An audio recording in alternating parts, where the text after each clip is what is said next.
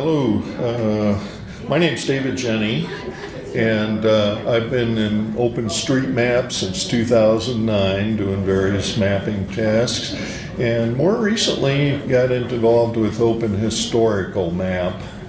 And you might be wondering why Open Historical Map? Well, for studying history, learning about history, and I, studying the past, it's probably good to have a timeline.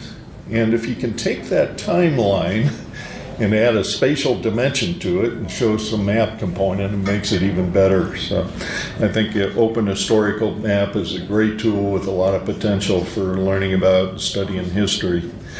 Um, this is so, so how many here like to go somewhere and then put something they noticed in the area on the map? Okay. About half of you. The rest of you probably want to do that, but don't want to admit it. but, uh, um, anyways, that's that's the reason, uh, uh, part of the impetus behind this. Uh, here's my contact information. Probably the best way to get a hold of me is that email address there. Um, I I do I am involved in I'm on the Slack OSM channel, several of those, OTM US or whatever it is, as well as Open Historical Map. Twitter, I've kind of grayed that out. I don't pay a whole lot of attention to Twitter, and I certainly don't tweet a lot. Um, and anyways, this this uh, whole thing was put together because of a trip we made to national parks, a family trip up to parks in South Dakota and Wyoming. And uh, I was kind of wondering why they threw this presentation in with all these educational and youth oriented talks. And then I realized, okay, my two grandchildren went on this trip, so that must be the reason. And uh, it was primarily the impetus behind this was uh, uh, my wife Sue came up with a great idea of uh, offering Samantha, the girl the, uh, on the left hand side of that uh, pose there, uh, a trip to any national park she chose, and she chose Yellowstone. So we visited a few others on the way there and the way back as well. Um, but one stop was at Grand Teton National Park, and of course, Grand Teton's uh, well known for its beautiful mountains, uh, wonderful lakes. It's just a beautiful scenic park. Um, and uh, the mountains geologically are very young. We're talking about five to 10 million years or so. They're probably not young enough to put on the time slider for open historical map, but uh, but I've tried. I've added the peaks anyways, just as a static item. And Grand Teton National Park has some history, some interesting history. The oldest building in Grand Teton National Park is the Cunningham Cabin, and that was established in 1888. John and Margaret Cunningham settled here. And you notice the style of architecture is something that was probably active in the Appalachian Mountains, southern Appalachians before that time. So it might have given an idea where they came from. I don't know for sure, but um, but this structure is still standing, but it's the oldest structure in Grand Teton National Park. And it was also the site of a gun battle. In 1892, some wranglers came by and uh, asked John for some hay, and I guess he accommodated and also gave him a place to stay. So they stayed on the ranch for that winter. And then the following spring, word got out that these wranglers were actually horse thieves and some, some U.S. Marshals rode into Jackson, and then they surrounded the ranch, and a gun battle ensued and killed the Wranglers. Uh, it was never established whether they were actually horse thieves or whether the U.S. Marshal and his deputies were actually U.S. Marshals. Um, but in any case, that's uh, how, the question becomes. Of course, you all are here for mapping, right? So, so how do you put something like this on a historical map? Well, it's pretty much the same as adding it to OpenStreetMap. So the ID editor is available. It's just a different URL to connect to, and you do need a separate login for Open Historical Map. Um, or you can use the JOSM editor. Um, and very much the same. The tagging is the same. So here we put in the building. Um, it's also on the uh, USGS topo map, and it's still standing today, so it shows up on the imagery. So I added it to the horse historical map. The main difference between the historical map and the OpenStreetMap are two tags that are added in the historical map, start date and end date. So I've added a start date of 1888 to this cabin site. Uh, it's still standing, so there's no end date put on there in this case. So makes it very nice to be able to do that. There's some other interesting historical features in the area. Uh, this is probably the most photographed barn in the country, and it's easy to see why with the beautiful mountains in the background.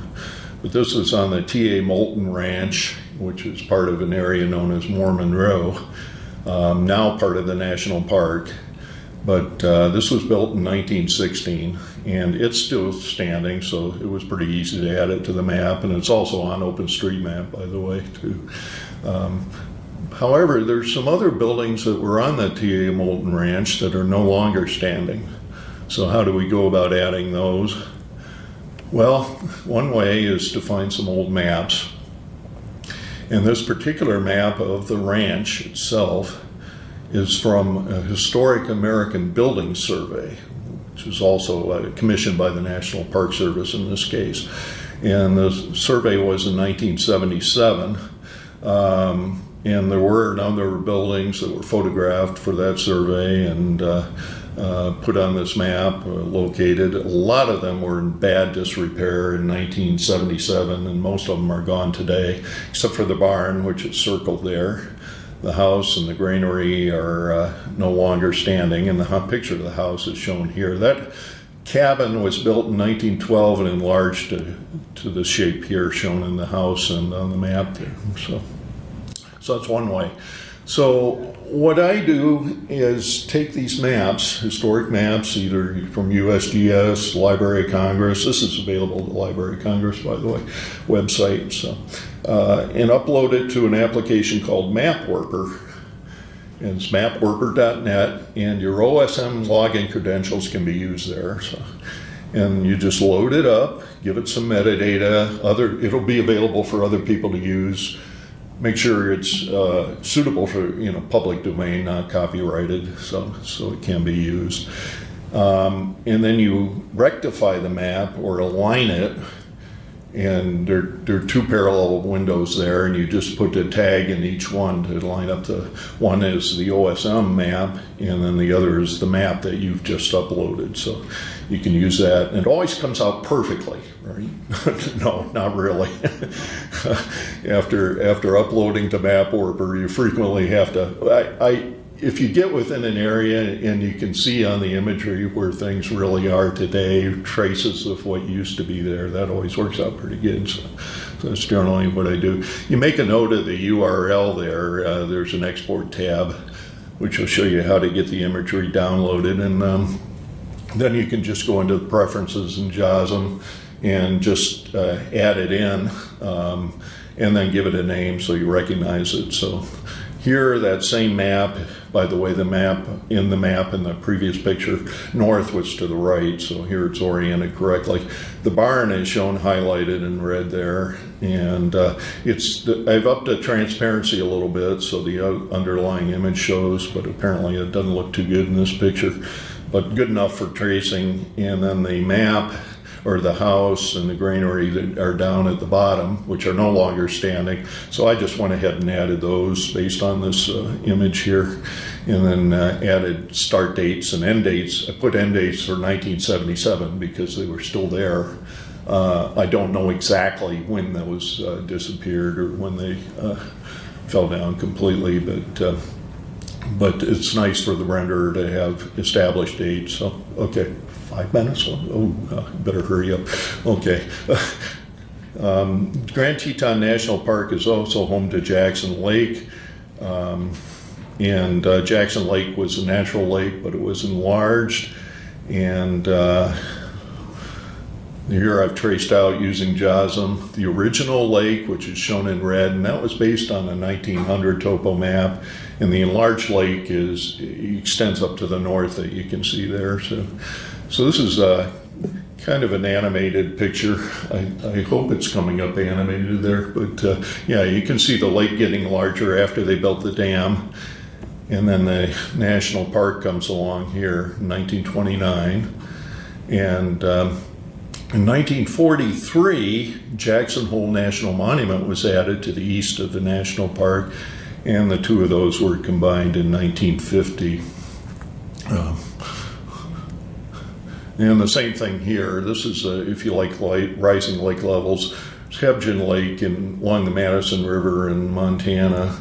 And this is just west of Yellowstone National Park. And the dam for this lake was built in 1917 and uh, you can see there I don't have the uh, map that shows the road before that time so I'm using the same road there throughout. That other lake up in the northwest is called Earthquake Lake and that was formed in 1959 when an earthquake uh, been actually uh, toward the back of that picture you can see a big scar in that mountain in the center left there and that's where a landslide took place as a result of an earthquake in August of 1959. Uh, it formed the dam, dammed up the Madison River, forming this earthquake lake. It buried a campground, killing 28 people, and also changed some of the plumbing around Yellowstone National Park, so it altered some of the geysers and so on. And of course, we, we also visited Yellowstone. You can see lots of tourists and hydrothermal features, wildlife. History of Yellowstone goes back about, well, at least 12,000 years when Indians mined uh, obsidian from Obsidian Cliff here. And some of those tools have been found as far away as Ohio. Um, this is a map showing Obsidian Cliff. Um, between Mammoth and Norris uh, Geyser Basin. And the picture on the right there shows how they built the road there in the 1880s. Uh, what they did was just heat up the obsidian, uh, building some big fires, and then put some water on it to cool it off, and that shattered the obsidian, which made clearing it away much, much easier to uh, some of the Yellowstone history. Yellowstone was founded 150 years ago. Uh, the first the first superintendent at Langford in 1874 he requested a budget of 100,000 to build roads and uh, maintain the park. Of course, that was turned down. So what do you do when you don't have money to you need to build roads and uh, patrol the park? Well, you send in the army. So there's uh, the Army Corps of Engineers a build, built buildings there where the U.S. Army soldiers had a camp and so on. So that they pretty much uh, took care of the park for a long time, or for it's a couple of decades, anyways. Um, some of the documents used in mapping the history of Yellowstone National Park. There's a history of the road building here, and you can look that up. That's on the Library of Congress website. Uh, and then old maps. This one in particular was built, uh, put together by the U.S. Army in 1900. Up in the upper right-hand corner is a place called Baronett Bridge. That was built in 1871 by that gentleman, not for tourists, but to service mining claims up in Cooke City, Montana. And in 1877, it was partly burned.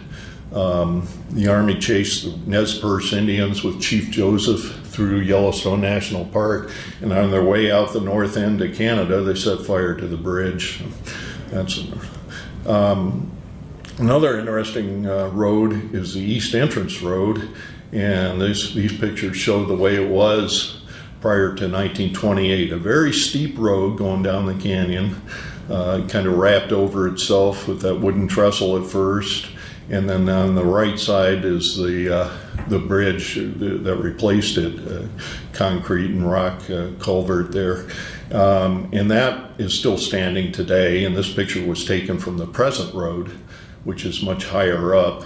And then here you can kind of see the original corkscrew, and then in 1928 comes along and it's replaced by the present road. These uh, maps that uh, these animated maps are all taken from directly from uh, Open Historical Map. There's a time slider that you can see on the bottom you can move across and um, uh, adjust in different ways and uh, or set it off to kind of automate and go through too. So, so that's pretty much it. Uh, these are some of the resources here of uh, um, that I used in putting uh, things on the map and as well as using uh, uh, put this presentation together. Um, the one on the bottom is copyrighted, but I think it's very interesting anyway, so be careful using that. On the, uh, it's usns.com and it describes the U.S. national highways, um, which are in this area too, of course. So, the others are mostly government sites and uh, are, are, of course, free to use. And my contact information is at the bottom there. So, so thank you very much.